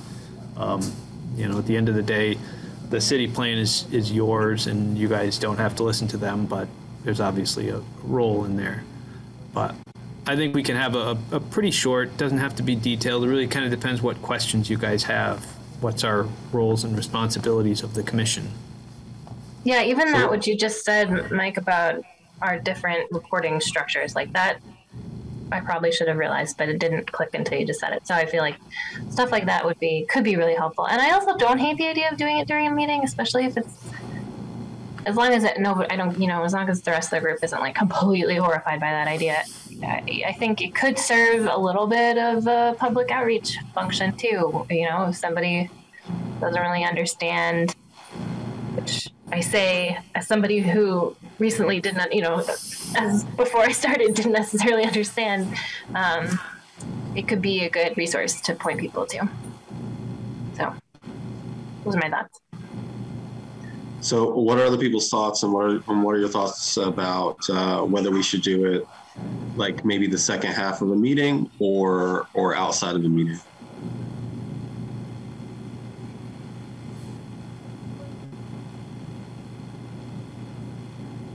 Well, if it's not more than three people, it's got to be a warned meeting anyway. So if there's more than three commissioners, um, I think we want it access accessible from the public to the public. We would either attach it to the beginning or attach it to well, it'd probably be easier to attach it to the end of a meeting. Not that I want anyone to stay longer, not that I want to stay longer, but 7:30 to 8:30 means Orca already has their cam- cameras running. Their cameras are running automatically, so their cameras would just keep on running until we finish the meeting. Um, Yeah, that well, Mike, that's what I was thinking for if we did it outside the meeting would be what like attach it to an already uh, you know notice meeting. Um, but we'd also do it during the meeting. We do it 6:30 to 7:30. So that's kind of the question I have is, um, and then, you know, do, do people have thoughts about that? You know, it could be, I mean, I, I don't know what I don't know as a newer commissioner, uh, but it could be something that you just say, hey, every year we're going to do 20 minutes of like refresh on our legal responsibilities, you know, like you would in any other professional setting, you know, support do some continuing ed. So we could just build it in every certain, you know, time of the year that we're doing this meeting. Or we could do, you know, I could do something with Jeff Sefrit with my, whatever you guys think. Any other any any other thoughts? I think I'd rather see it during the new meeting time and shorter if uh, we're worried about a full hour. Okay. Um, yeah. Well, we could put it on. We could put it on some agenda in the near future then for like six forty-five to seven thirty. And Mike, I'm happy to help prepare this with the caveat that I'm the one asking for it. So I might not know exactly what to do, but I, I, I like I said, I just I want to be mindful of your. I respect that you have a lot going on. yeah, I, I think we can do it. I don't think it's something we can do right away, but maybe it's something we can look at for, you know, June or July or something like that. Something that gets us out of this immediate window um, with a lot of stuff going on. And I and as, as I said, I don't think it would take that long, and I might be able to find somebody who already has one somewhere in the VPA listserv that they've already kind of put one together with the basics of of this that I can just steal from. Yeah. Thanks. We used to have the Yeah. we used to Yeah, have a great great group when I was in the, at the RPCs, and they used to the Education and Training Collaborative, and we all would put these canned presentations together, and we would just stick them out there, so anyone could grab them and use them. I'm wondering whether we already had one that was put together on the basics of the Planning Commission. Yeah. I bet the I bet the RPC has a canned something. Bet they do. Yeah. They because they probably do for some for some municipalities they probably do come in and tell them like this is your job as in the planning commission for people who don't have staff. Yeah, yeah, definitely don't want you to put a ton of work into it, Mike. And it sounds like sounds like I mean Marcella and all the rest of us are in agreement that um, if you want to if you want to mostly wing it, I mean that's fine. It's just just hearing additional content on this subject is good enough. Um, Yeah, and like Okay. I said, it could could involve, you know, if like Gabe's idea, if we kind of do this a little bit regularly going forward, it could involve some like best, you know, just sharing amongst us as like best practices or questions that have come up about us about process. It's like keeping an eye, a little bit of an eye on how we're doing, you know, throughout, which I tend to think is good for any kind of work that one does. Thank you for considering. so sounds good. So yeah, we can plan to do that whenever you're ready, Mike, and we'll throw it on the back end of an agenda. Um, we'll make sure we leave like 45 minutes that that week. And if people feel like they already know everything they need to know, they can peace out at 6:45. So sounds like something for everyone to like. Um, okay, so the next thing we have is to discuss next steps on RFP for the city plan consultant.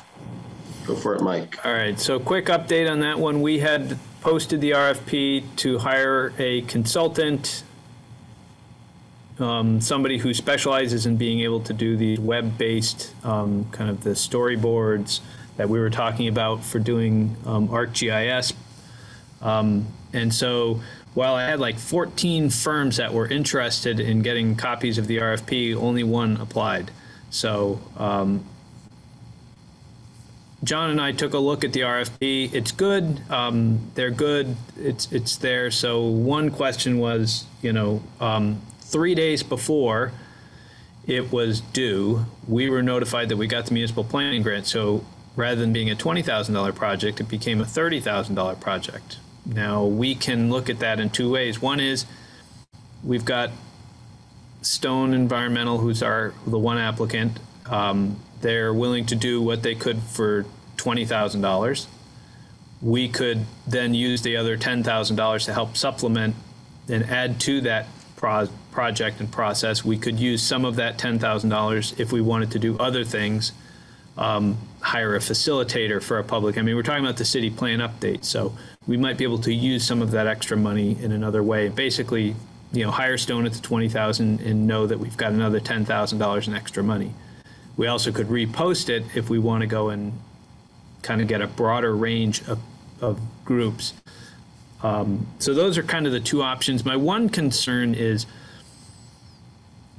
I don't know, you know, I'm not, I don't have any experience or background or real input, good input on how to write, you know, how do you write a storyboard? How do you write a good You know, because we're basically entering it something that's different. Um, you know, writing a web page, writing a storyboard is different than writing a PDF plan.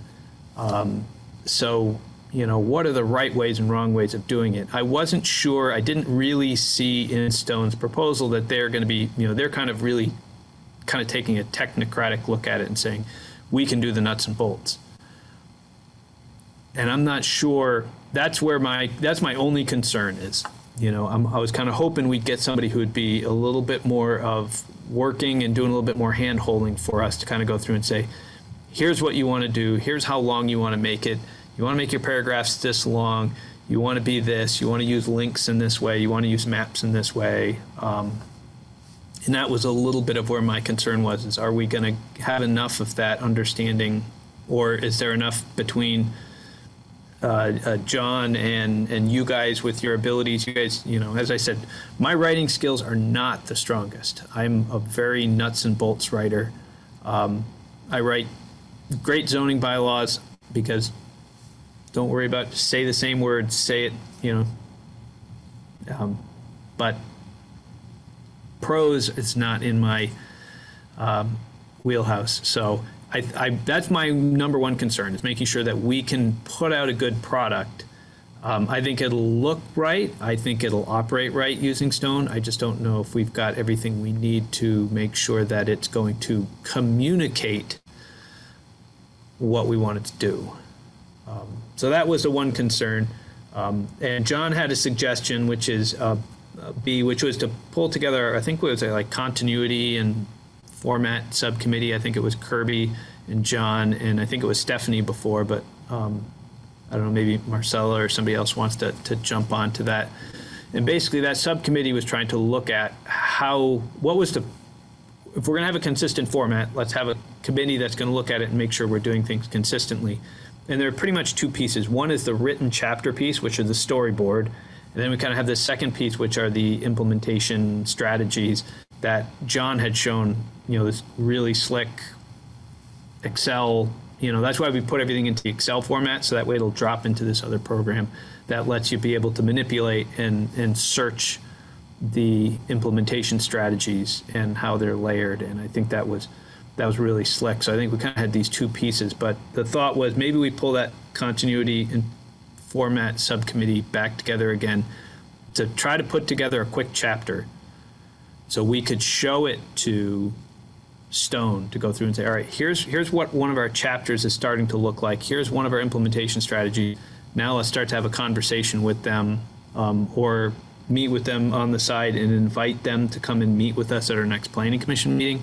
I'm just spitballing here as to how do we want to try to take this to the next step. Um, we have a RFP, we have a proposal. Now we got kind of got to decide if we want to work with them. What are people's thoughts about the next step? So options, just to be clear, options are think about going with Stone, in which case we've got to think about how we're going to handle the storyboard on our side, or do we put the RFP back out there to see if there's any takers uh, that's that has more experience with that? So I've had a little bit of experience with Stone. I think they're good. Um, it was mostly GIS stuff though, so not necessarily writing and storyboarding, which is where my concern is. Um, I would personally send the RFP back out with a larger amount of money. Uh, that's just my thought. Did we put in the RFP like a sorry? Did we did we put in the RFP like an emphasis on this sort of like guiding us through the more creative part of it as well? We talked about it. Um, yeah. And, and just for context, Stone has already been working with the city. They helped set up some of the projects that the city has. So we have some like um, pieces that Public Works has done. So yeah. you can actually go into our website and like in the middle of winter, you can go through and open up their storyboard on snow plowing and a map will come up and show you live action where the snow plows are and who's got which snowplows. So snowplow one is currently on Cliff Street, and snowplow two is currently on Main Street. And where's the sidewalk plow? Because they all have GPS in them, and so they automatically loop into this. So they've got a, a thing to explain to the public why do we plow the way we do, what's important. But that, that's really more of a nuts and bolts presentation of you know why why does the first snowplow just come down and plow the center of the road why doesn't it you know, there's a reason why we plow the way we do. There's a reason, you know, the big snow plow goes over here, the snow small snow plows go over here. So they kind of it was a, it was a meant a way of educating the public on.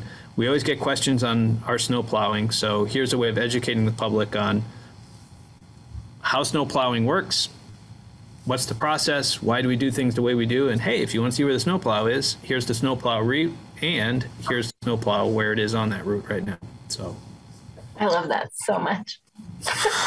oh, good. So that's what that's what Stone has already set up. So I, from a technical standpoint, from a GIS standpoint, you know, they've already been working with the city. They already know our software um, because they helped us set up the same yeah. thing. It's a, it's a Esri uh, GIS hub. They already set it up for them. Um, and wanted to do more things, but we never, we kind of ran out of money and, with Public Works. So it's not surprising they were the most interested. So they, they do have that, but we do have the extra money too. As I said, we could hire them to do the technical work and know we've got $10,000 and maybe we find a consultant that helps us separately that says, here's how you do storyboards, unless that's not a good idea. What are other people's thoughts on the, the uh, choices? John? I think we should dial in the RFP. I think if I think consultants looking at that would would have been it's it, they would fear it just being a black hole because um, unless we're just giving them what we want to put up there, then they're looking at our, you know, what 300 page plan we came up with last time. And, you know, Montpelier is known for having an engaged populace, and they're just thinking, what what am I getting myself into if I'm going to be the person responsible for trying to mediate and come up with the language that's going to please this city? So I think maybe by by demystifying and giving precise, a succinct example or two of what the end product is, we can maybe make better use of their time. Otherwise, they'll probably be either a lot of back and forth or someone who will only say, just give me what you want and I will put it on a website, you know, which is fine. It's just, it is what it is. There's nothing, nothing wrong with it. But if we were looking for, you know, initially, I think when we talked about this, is we wanted something more digestible and functional. Um, as opposed to just a, you know the, a brick that sits on a shelf. Mike, what's the time frame if you we put another RFP out there that's a little more precise, um, till we'll be able to pick somebody else, or or Stone if they decide they want to incorporate that more detailed part. Um, so the timing is, you know, we. I'm really hoping to get somebody on board because I just want to be able to start. Because I, I think the first step, we kind of broke it into three steps for them. And the first step was to build the template, which was to go through and say, this is what the, we got 11 chapters. This is what a chapter would look like, you know, in just a template format. And then we could go through and build one. I think once we build the first one, then we can just keep throwing stuff at them and they can just build out what we need for the rest. And they can keep shooting to us to go through and say, I need a picture I need another table. You know, uh, what's what do you guys need? And so there'd be a little bit of an iterative process to finish building it out. But I think, you know, we've built, we've written chapters and started to assemble a lot of the information, and we've got the, I think the implementation strategies are basically done. Um, we just have to go and format them in, into John's John's program to, to get to them and show how do we link this this chapter to this? Or is it embedded inside of it, or is it a link to something separate? Um, and I think that's you know that's that's the first step. So my hope was to get somebody on so we because that first step I think is going to take the longest. Getting that first one where we've got that connection, but um, if we think we need to or want to go back out, we can certainly do that. Um, 5,000 of the dollars is in this year's budget. So that's the only thing I'd have to figure out how to squirrel away. Um, if we kept Stone, the advantage of that is, you know, we interview them, we get to a point, we say everything's good. I tell them, invoice me for 5,000 bucks because I've got that in this year's budget, which I have to spend before June 30th. If we go out, then I kind of have to make sure we hire somebody before June 30th so I can tell them on June 28th, PDF me an invoice so I can stamp it and pay you five thousand bucks, just basically to you know the contract is going to be we're going to pay you five thousand to start, twenty thousand when you get us the template, and another ten thousand, another five thousand, whatever it is. We just rather than set it up by a, a, you know a pro rata or by the hour, we would just peg their payments to benchmarks that they reach and that way I can pay them five thousand up front and make sure we spend this year's money because I got five thousand in this year's budget, five thousand in next year's budget, separate line item for ten thousand dollars. Then I got the ten thousand dollar grant, so I've got thirty thousand in these little pockets. So basically, if we did it, we'd have to be really quick because what are we? We're basically heading up to May first. I'd have to be able to roll that out. We get something back in two weeks other the other option is um, you know, I'm just kind of rolling things out of my head. Um, if I work with uh, John or uh, Jeff, if you've got some ideas of, of consultants, I can target three consultants and go through and say, well, SE Group was one of the ones that was helping us to start. We know we've got Stone. Um, you know, maybe you guys are like, hey, uh, you know, VHB was interested, CAI was interested. Um, you know, you might be able to go through and say, hey, give me a couple of them. And rather than do an RFP process, I just contact some and go and say, this is what we're looking at doing. But I, but I agree with John. If we have something that we can, if, if we sit down as a subcommittee and put put a mock up something together really quick, then at least we've got something to go to them and say, this is what we're looking at doing. This is what we're going to provide you. We're going to provide you this, and what we need from you is for you to turn it into a storyboard and to do the technical pieces and to um, help us make sure that we are communicating clearly. Um, you know, somebody with a lot of experience writing websites will tell you, put this banner up top. Don't put that banner up top. Put this picture down here. Don't make that picture so big. You really want to have something over here because you want to capture people over here. You really want to uh, do drop downs, but not that's too much drop downs. You know, you want somebody who can help you go through and say, if you want to communicate with people via this media, here are the do's and don'ts. Um, and I'm fully willing to, and I think a lot of us as a planning commissioner are fully willing to go and find out what the do's and don'ts are and get them. All right, here's your historic resources chapter. Now that we know what we're supposed to do and not supposed to do, here it is. Plug this in. Here's the picture. What else do you need? Oh, you need a, a, a graphic or you need the data layer showing the historic district boundary. I'll get you the historic district boundary data layer. You want the design review district boundary layer? Oh, I can get you that too. That's that's this one here. All these should be in the same storyboard to explain what we're doing, why we're doing it, what's important, um, and then have a little bit of a, a conversation like that. And I think that's where this is going to. This is where I hope this goes.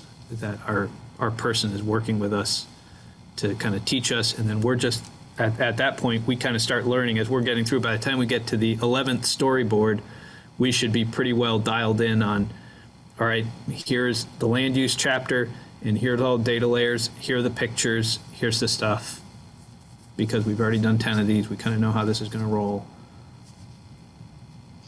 you know Right. So so so Mike, you don't you don't need a vote from us, obviously, right? Like you just you're just looking for input. yeah pretty much if if you know if people can give me um, an idea of what you want me to try to do.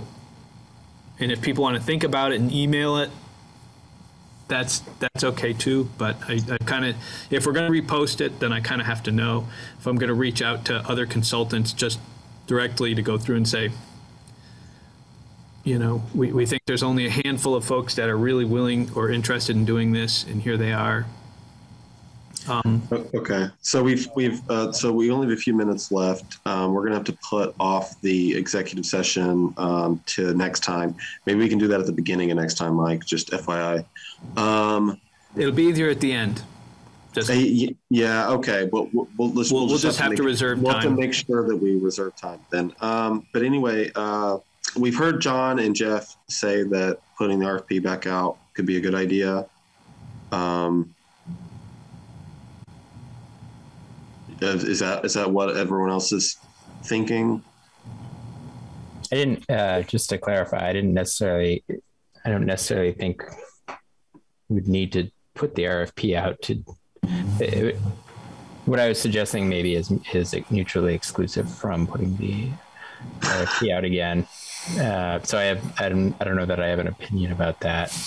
Okay, I was reading between the Not lines. Sorry about It's that. like not helpful at all. I know, but um, all of uh, Mike's talk of, uh, of you know all these thousands of dollars in different pockets makes me think of uh, the story with um, my late grandfather when I was a child driving from Montreal, uh, in you know where I grew up, crossing the border, and they asked if we had ten thousand dollars or more of cash on us. And said, if I do, I've got someone else's pants on.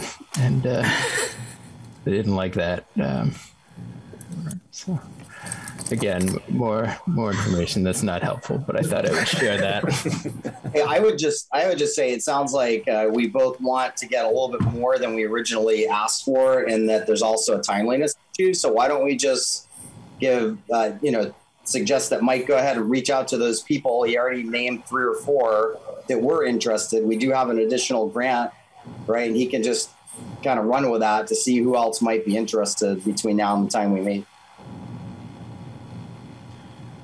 Everybody good with that? And, and so, John, you're, I don't want to cast aside your side point then. You, you were talking about doing the subcommittee thing and like in looking like tell us tell us again the takeaway from what, what you were, were trying to point out there just dialing in and spelling out you know creating a, an example and being clear uh, on what our expectations would be and what what the deliverables would be because i think that as they are right now they are a, a little bit vague and could be intimidating for a um, for anyone okay. bidding on the project so in the I next agree with, in I agree with John. I think he's right. I think Okay.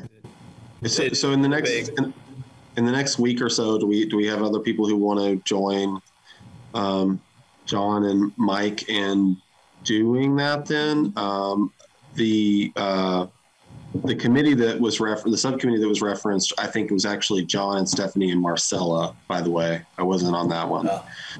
Um, do people have an interest in in meeting up and doing that then? If there's interest, we can take that route. If there's not, we can kind of, I think what Gabe said makes sense and just have Mike reach out individually um, without us doing that. I guess I'll defer. I'm. I don't feel. I mean, I don't feel. I don't have a lot of experience with these, so if it was just putting together a chapter, that'll be fine. But um, again, still feeling. I guess we're gonna end the nominations committee stuff in the next couple of weeks. So after that, maybe Yeah, I mean, I, I can also just work with John if he's willing to just meet for a little bit. Just as I said, I don't think we need to develop anything fancy. Just the we both, I think, kind of have things in our head that we can get down. The idea is that we can go to the consultants and say, this is really what we're looking for. We're looking to give you this, and we're expecting you to put it together in this format. And but this this is what we will be giving you, because a lot of times I kept getting emails, especially late in the process, and they were like, "Well, I downloaded your master plan from 2017, and I was wondering what you were." And I was like, "No, it's there's nothing there's nothing with that master plan." I think that's what happened. Is a lot of them downloaded the master plan and said, "This is this is not a twenty thousand dollar project to." take this master plan and turn it into a storyboard. Um, and, I, and I think we just have to go through and say, no, we've written something separately. This is what we're going to give you. This is what we're hoping you're going to put together. That's, you know, Okay. rough. So does does anyone else have interest in, in meeting up with John and Mike? Um, it, it could be no more than two more people, just for open meeting rule reasons. Anybody else interested in participating in that? Okay, well, you guys feel free to do that. I, And I, I can I can Okay. get in on that. I just I'm kind of slammed right now at work, and I just I don't want to commit to anything in the short term. Like, what's the timeline on this? Like, It's going to probably be something that would have to be pretty quick because if I'm going to reach out to other consultants, I was kind of hoping I'd have something I could kind of go out to. yeah, yeah, whatever. I'll do it. Okay. okay, so yeah, you guys can loop Aaron in and um, whatever uh, whatever you plan to do with that. Um, anybody else, real quick? So okay, so we'll leave it to you, uh, Mike, and then yeah, if you want to reach out, you want to put the RFP back out. Your call, obviously. Um, so sounds like we're good with that. Anybody else have anything else on this before we adjourn? Okay, do we have a motion to adjourn? So moved. Motion from John, do we have a second? Second. Second from Marcella. Those in favor of adjourning, say aye. I, Aye. All right. Any opposed? All right. Bye, guys. See you guys. See you guys Thanks, in a couple everyone. weeks. Thanks, Kirby. Thanks, Mike. Thanks a lot.